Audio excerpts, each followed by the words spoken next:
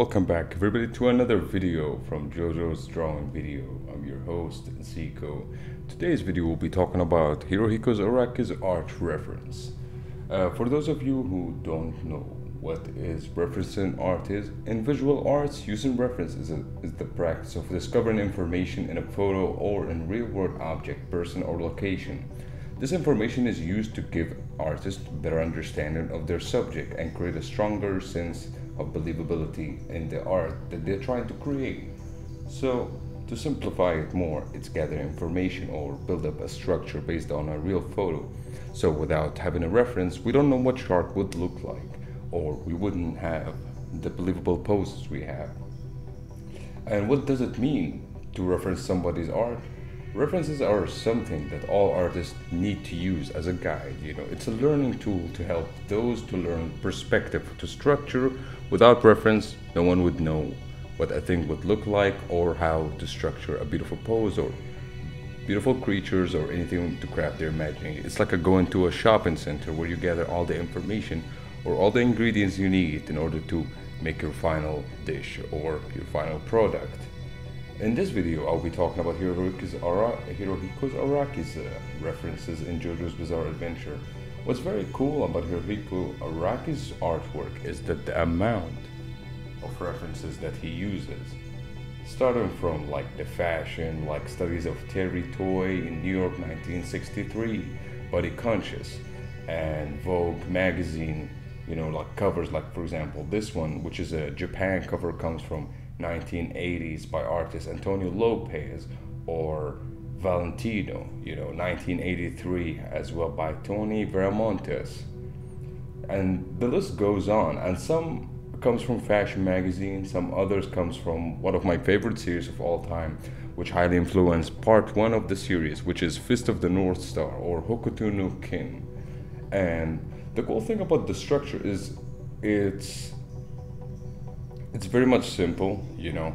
It's to have a reference doesn't mean copying somebody's idea, but it's to make your own ideas using the structure. It's like, for example, we don't know what's like building a house without knowing how to put the foundation for uh, a house in order to establish a different kind of house. You know, you don't necessarily need to copy somebody's uh, build the exact same thing, but it's just like you need to find the fundamentals, the structure, and perspective in order to shape your final product. And without further ado, to help everybody understand how to use their own reference, just like Araki or just like any artist, which is, as I said, a basic thing that we all need to use in order to learn. We're gonna dive, dive deep down into this subject. So grab your pencils and or your digital tablet and let's draw together. So in the first example here, uh, I will use several references from Hirohiko Araki's book. And this is a video I've already pre-recorded while studying for uh, like my own art, personal like studies. And as you see in this video, I'm breaking down everything to its most basic fundamental form, you know, which is like stick figure. And I try to match it with the reference to see to show you deeply what is the main structure of the pose or how Araki uses references to create establish the beautiful poses he does with the characters. What I personally believe is that Araki uses his characters as fashion models and he asked them like could you do this pose for me like he trying to make them pose in very fashionable way sometimes like he uses references to make outfits for his own character, just like Abbacchio. As you see here, this, is the original reference that I found of the outfit that he wears in part, I believe, I think part five as well, Vento Aureo. And and as I'm going to go in a better form than this, and I'm I think to make it real and make it better, I will do my own reference right now instead of showing you guys a pre-recorded video. So let's do it.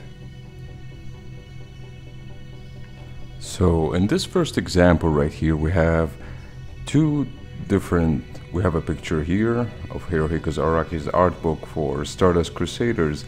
And on the other hand, we have the original reference where it's originated from. And I will explain deeply what I meant by with breaking down everything to its most fundamental form. So I'll go with the same stick figure that I've mentioned with doing the work and we're gonna try to break down everything. The most cool thing about this is that you have to have a very good uh, understanding of human anatomy when it comes to drawing you know so here this part I'm gonna draw this line which represent the spinal bone and as you see here both sides are completely matched. And these dots right here represent the joint parts in the body. Or let's say uh, I think if I'm not wrong I think the the articulation let's call it. And this part right here represent the hips. And if you noticed here it's a, almost a similar match between both sides between the reference and between the like between the art and between the original reference. Excuse me right here. I made a little mistake you know.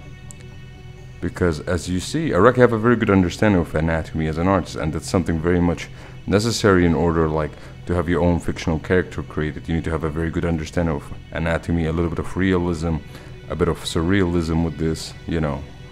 It's a mix of both words and it's almost as exact same match between the poses you know. That's how you use a reference as I explained. It's just like a gathering some information you know.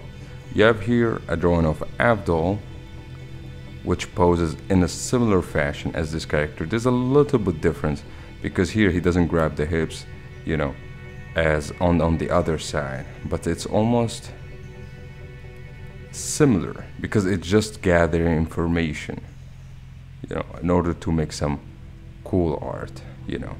This is here the first example. And we I have another example right here which is a little bit different here with Jolyne and and when I do study references I do the exact same thing. I break everything to its most fundamental form. And same thing we do the joints we mark them. And this is represent the head part. And this represent the spine. You know this is like the spine. You see the same thing apply for both poses. And you notice as well the outfit are a little bit matching. There's some inspiration you know behind it. Because that's the cool thing about having references.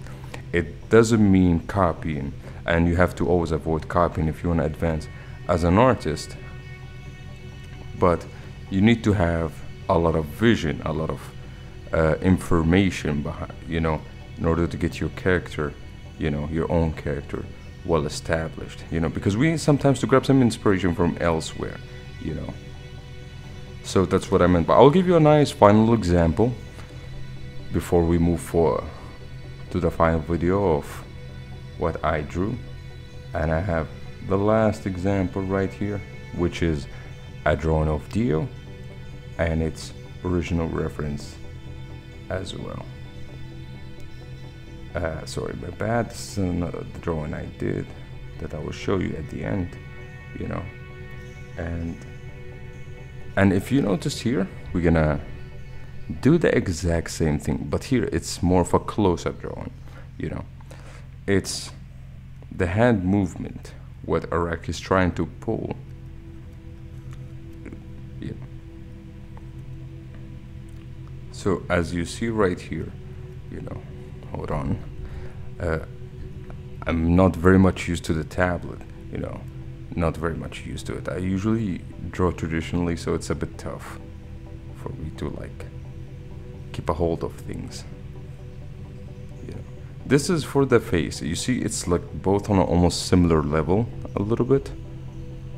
And now I'm gonna try to make it smaller you know the marks so I can see it and here we're gonna try to trace the fingers a bit you know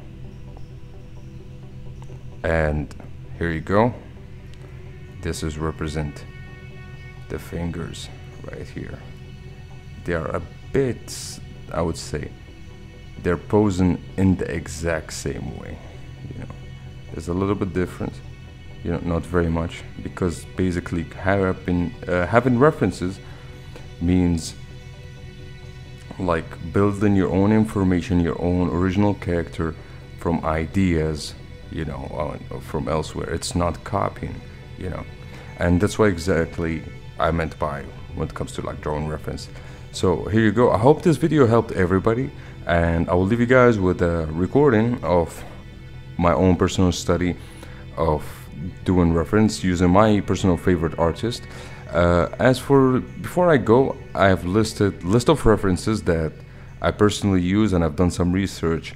You know, there some of them are fashion books, some of them like my favorite artists, like things that can help you with creating beautiful dynamic poses, you know, and beautiful looking characters as well. Because my favorite art artist myself, when it comes to beautiful dynamic poses, would be Frank Frazetta. You should check him out wonderful, beautiful pieces of artwork.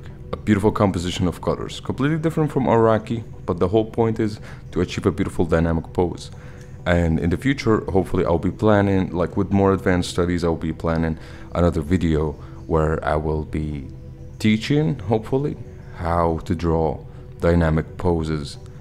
Not similar to JoJo, but it's on the same flow as in the series. I hope you all have a beautiful day and I'll see you in another video.